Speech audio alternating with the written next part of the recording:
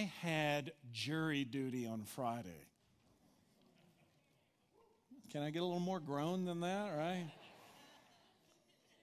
I, have never, though, I'll be honest with you, I've never been in part of this sort of jury duty where you go in, you immediately get ushered into the courtroom, and you get picked. And I mean, it starts. I mean, it's a quick deal. I'd never been a part of that part before, and uh, was at the courthouse and went in, went into this process, and and I'm thinking to myself, man, I really don't want to be here. And but there was like four people in the room was just salivating out of both sides of their mouth. They were so excited to be a part of this. They were hoping they were going to get picked. I was like, well, they're not going to get picked because nobody's going to pick them uh, because you know they're just a little too eager. Well, in this world of judicial, legal, law, lawyer, you know, John, you might know a little bit about this as well. In the midst of all of this, you get asked this question as a jury person. If you get picked to sit on the jury, how do you know if the person is telling? Oh, you've been in jury duty too. And I'm sitting there thinking to myself, because I'm a sociologist and I'm a, i also understand a little bit about the judicial system, and I understand that, you know, we get ushered into this room and we sit down in these seats and we immediately stare eyeball to eyeball with the prosecutor and with the defendant who's representing themselves. And they're trying to figure out, of us 14, which of these six suckers can I pick that will agree with me? Is it really about the truth? Because I got asked the question, as they said, uh, Kelly, uh, we've not heard from you today. How do you decide the truth? And I said, I don't know. You don't know? Not, not when it comes to this moment. I've got to get into this moment. But listen to me. If you want to know where all truth is, and I didn't say this, if you want to know where all truth in, is, guess where? The Bible. It is God's Word, it is His holy Word. And I just want you to know as I celebrate today, a number of things. I have my UK cufflinks on today. That doesn't matter. But anyway, I'm two days away from reading the Bible a hundred times. And I am, you go, are you proud of that? I am. But James reminded me, Jesus' brother, reminded me just a few days ago it ain't what you read, it's what you apply. It ain't what you read. We don't want God just to listen, we want Him to respond, don't we? We don't want to just tell God and then not hear any response. We don't want Him just to listen, we want Him to respond. God doesn't want us just to read, He wants us to apply it. And what was happening in the first century is that the early church was not applying what they knew.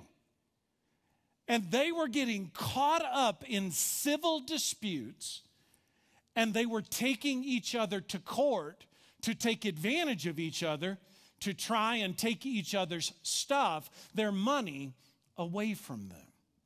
Now, sometimes people say, well, the Bible just seems to be not very relevant. Well, I can assure you that what we're going to talk about today is extremely relevant. There is a whole chapter in the Bible dedicated to civil disputes, to people that were at odds with each other who claimed the name of Jesus, and yet they were using a secular court to take advantage of each other because they did not want to apply the truth that they already knew.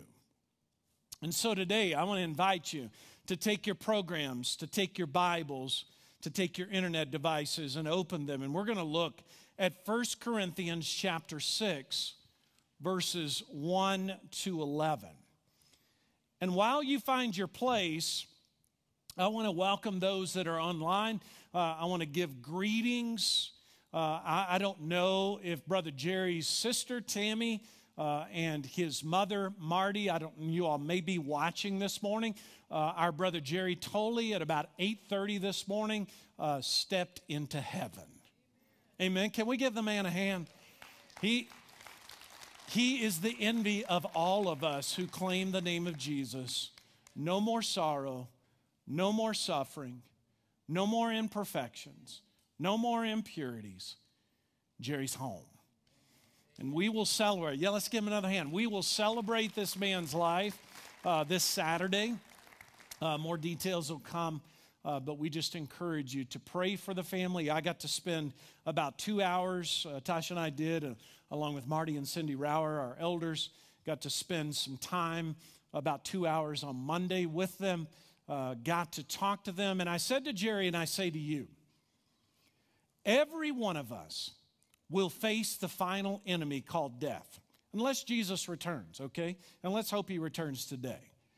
But unless he returns in our lifetime, every one of us are going to face death. And we do not face death because God doesn't love us.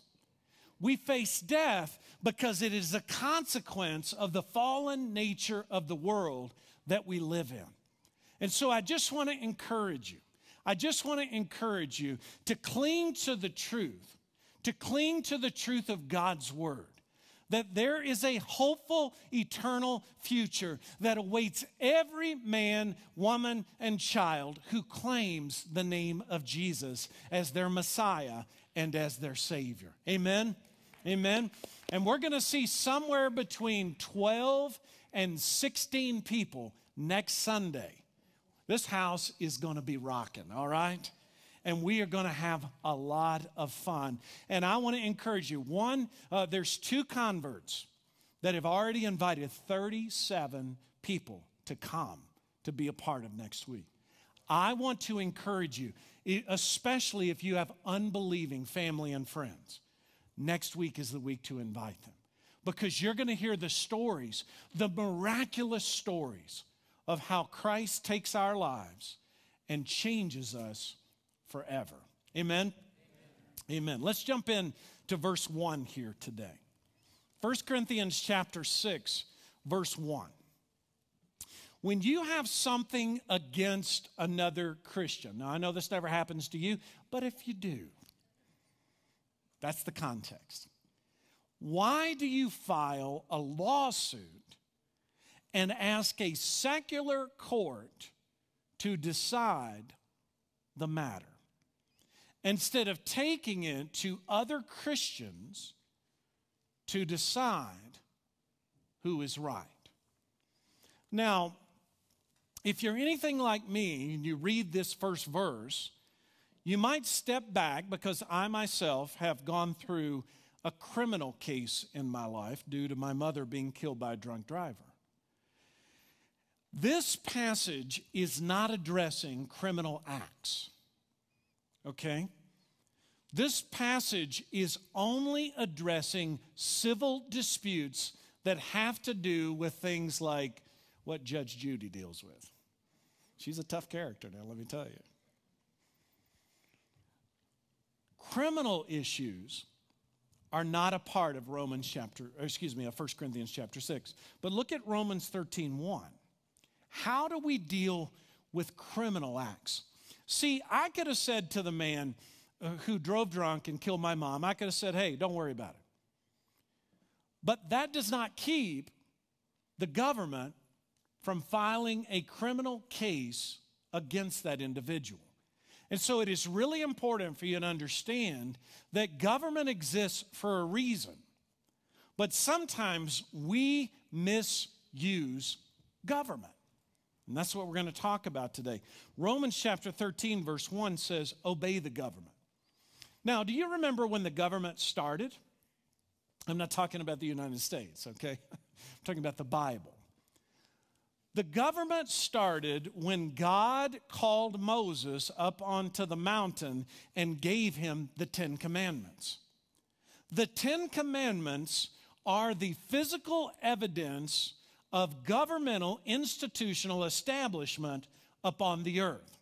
One time in this country, you could not walk into a courtroom and not see the Ten Commandments on the wall because our country used to understand that that is what established government. Amen? And we're far from that now. We are wandering. We are fleeing. We are running from how government was established and why. God established the government. God gave Moses the Ten Commandments. The reason why it's called the Mosaic Law is because God gave Moses the law, and God told Moses to give the people the law. And the law was established by God Almighty. So we are to obey the government. Why? For God is the one who put it there. All governments have been placed in power by God. They get their origin from the Mosaic covenant, the Mosaic Ten Commandments that was given to Moses. So those who refuse to obey the laws of the land are refusing to obey God. Whoa. So, Rod, when I speed, I have to remind myself, sorry, Lord. Because when I break the law, I'm not just breaking the law, I'm offending God. God wants me to abide by the laws as much as I humanly know how to do. And when I don't, to recognize that the law, the government, is there because it represents the justice of God. Now, you don't have to tell me about the injustice of the justice system, okay? I, not only do I have my own experiences, but I have your experiences as well. And I see that human beings struggle to be just in a justice system. I understand that. I understand that a prosecuting lawyer and a defendant that's trying to get out of what they have been accused of doing is asking me questions as a juror to decide if they want to pick me so they can get the verdict they want. I understand that. I understand that there are humans involved in the governmental process. But that does not take away the fact that it is established by God and we are to look to respect and to honor it. Amen? Now, the book of Acts says, Should I obey God? You know, excuse me, should I obey man instead of God? There are going to be times in our lives when we do have to disobey government, but we better make sure that we are really obeying God and not just appeasing our own selfish desires. Amen? So there are governments established to deal with criminal issues. That's not what we're talking about today. I'm not talking about abuse. I want to encourage you that if there is an abuse in your life that is of a criminal offense, you should not keep that a secret. You should not hide that. You should not be talked out of being honest with someone in the legal system about the injustices that are being done to you. Amen? So, Paul addresses civil dispute. How are we to handle? Number one, this will be the main point, and then the rest will be reasons for this point. Take it to your spiritual authority first. Take whatever civil dispute that you're dealing with, take it to your spiritual authority first. And in the case of Vanguard, if you are a member, if you are a part of this church, and you're going to become a member March 17th, uh, you would come and we would connect you to the elders and the Vanguard elders would get involved in this civil dispute of your life. And if there's a person that is involved that is a believer of another church, then we would get that other church involved as well in resolving this particular issue. Now, the text continues. Look at verse 2. Don't you know that someday we Christians, are going to judge the world. And some of us would have to say, Nope, I didn't know that. And since you're going to judge the world, can't you decide these little things among yourselves? So, why take it to your spiritual authority? Reason number one because you and I, as followers of Jesus Christ, We are going to judge the world one day. Romans chapter 8, verse 17 says that if we want to reign with him, we're going to suffer with him, but we will also share in his glory. And part of sharing in God's glory is that we will judge the world that we've lived in. You go, well, how will we do that? Well, for one thing, we will be made perfect in his likeness at his return or at our death. And I don't know if you know this or not, but the average human being uses only about 10% of their brain. And we've been around people to know that some don't use that much, right? Amen. So so we've not tapped in and I wonder, I really do wonder this and there's no way for me to prove this from the scriptures. But I wonder before the fall of Adam and Eve if brain capacity was just off the charts compared to now. Like their level of intelligence, like we can't relate to. We can't relate to the brilliance that Adam and Eve had on this earth prior to their fall. And how much of their brain they used, I don't know. It's just my theory. Hear me on this. I can't go to scripture and prove it. But all of us struggle to use what God has put inside here. And even at 10%, you have to understand we're still at the top of the food chain, okay? I think the next one is the pig or something like that. Just joking. Actually, I think that's true. Verse 3 Don't you realize that we Christians will judge angels? Well, I didn't know that either. Well, now you do. Do you know that the Bible teaches in the Gospels, and it's kind of cool with the uh, dedication today, Carla? The Bible teaches in the Gospels that every child has an angelic being assigned to it. Do you know that every human being has an angel assigned to it? Now, here's a misnomer.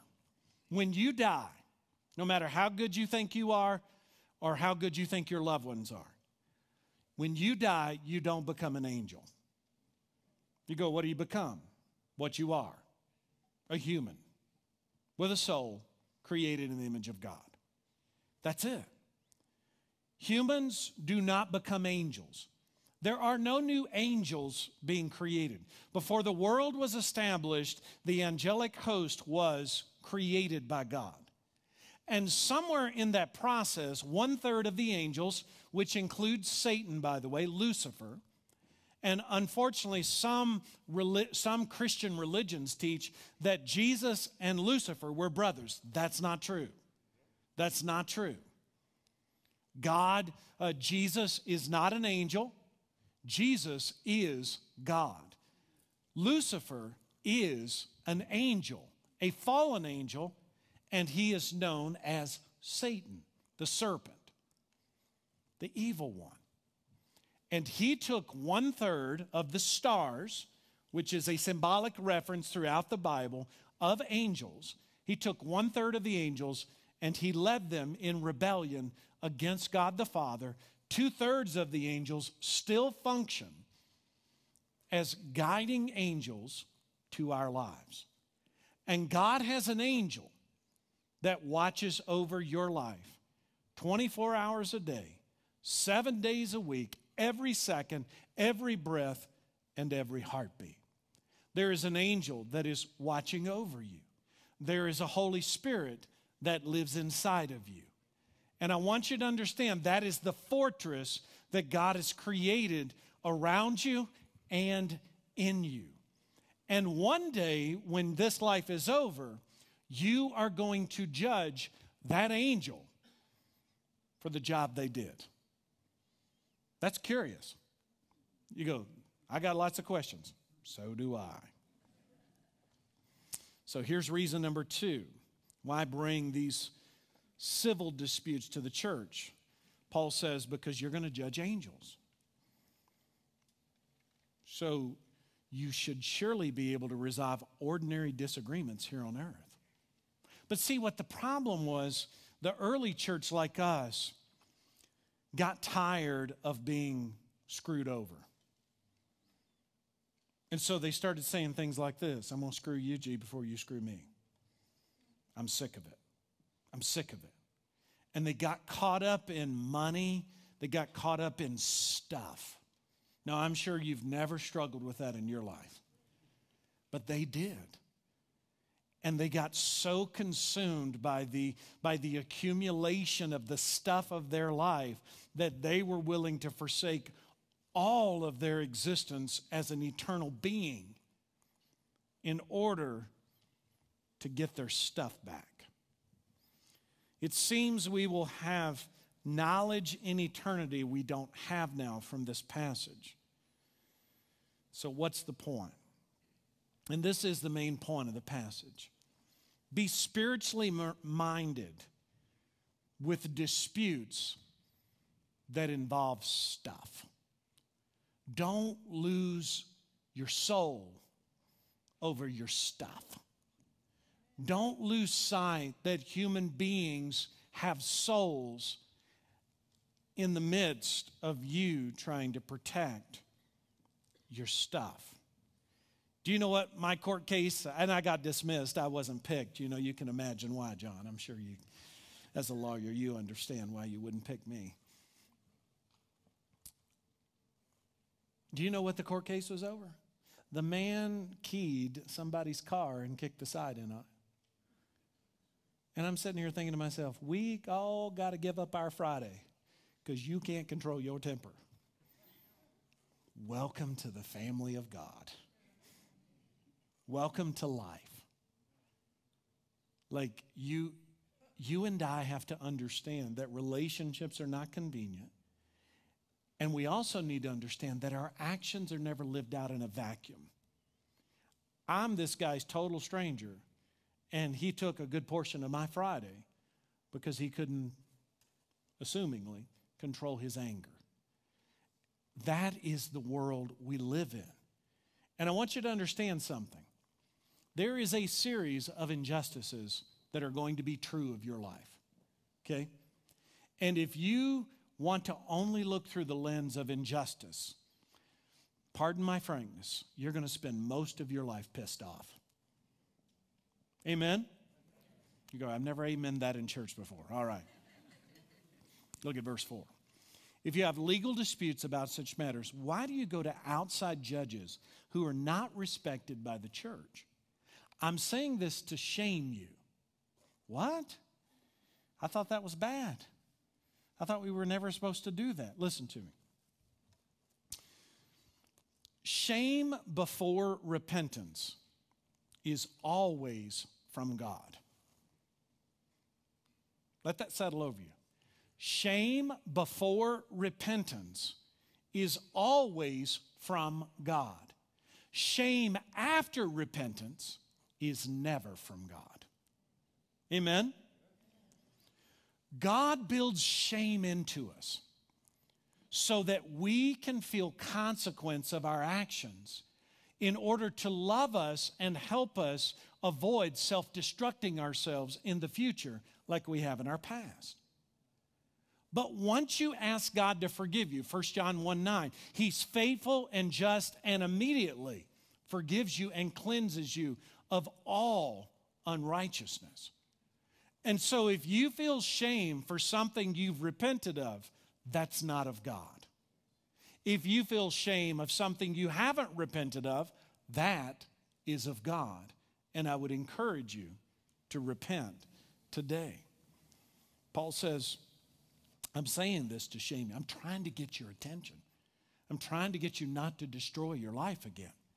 I'm trying to get you to hear me because you're going back, and I'll show you what he means by this in a bit, but you're going back to the same place that you used to be, but you're using a means of justification to do it.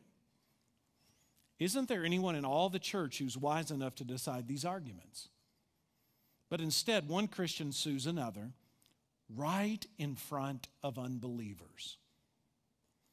So, reason number three why do we take this to our spiritual authority? Because if we don't, we'll hurt our witness. See, we are here to share the gospel.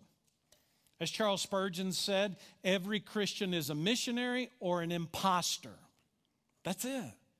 We are here to share the gospel of Jesus Christ with others. Now, you might say, yeah, but I can't be wronged. And I want you to think about this because I find a lot of people, especially after COVID, live like this. Ain't anybody going to ever wrong me again? Boy, that's a dangerous way to live. I mean, that is a dangerous, unhealthy, unproductive, dark way to live. No one's ever going to wrong me again. I have to screw them before they screw me because I've had enough. So Paul addresses this attitude. Look at verse 7. To have such lawsuits at all is a real defeat for you. Why not just accept the injustice? What?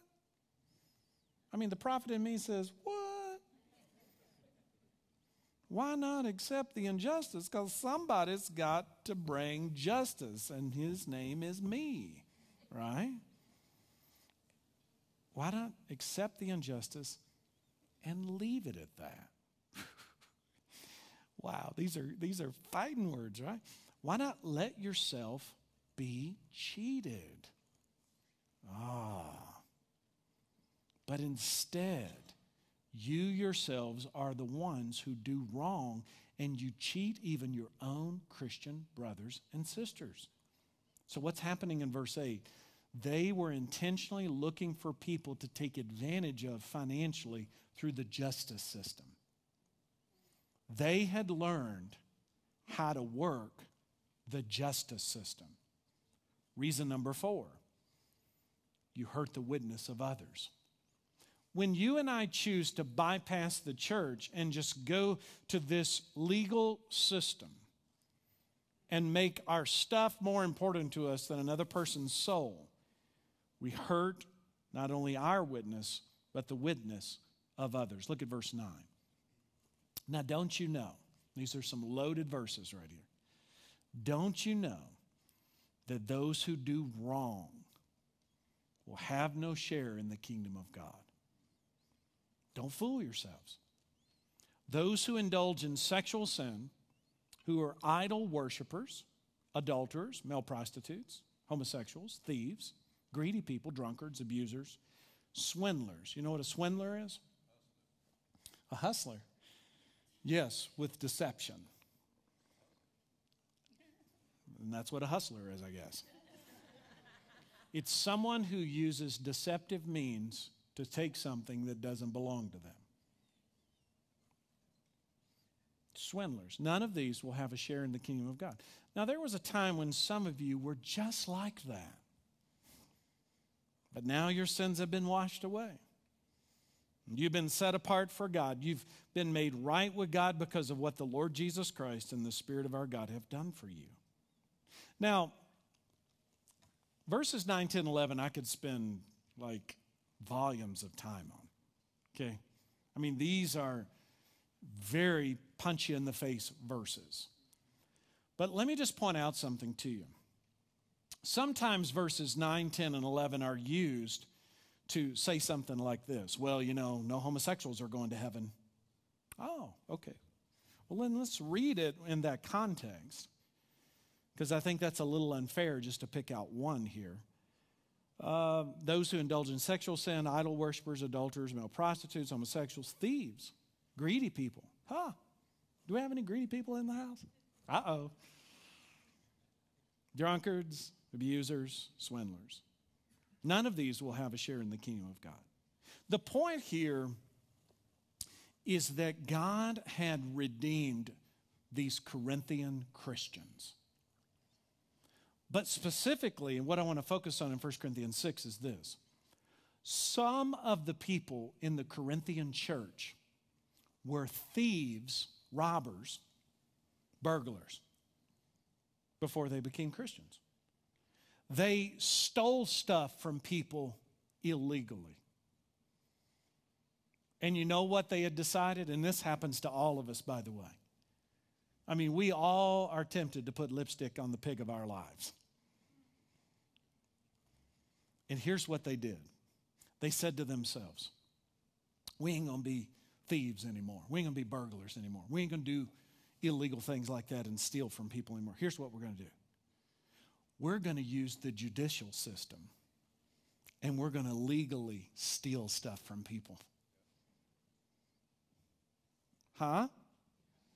That's called justification, by the way. And you know as well as I do that all of us have sin in our lives that we're trying to figure out a way to say, I ain't as bad as I used to be. Okay, and that's true.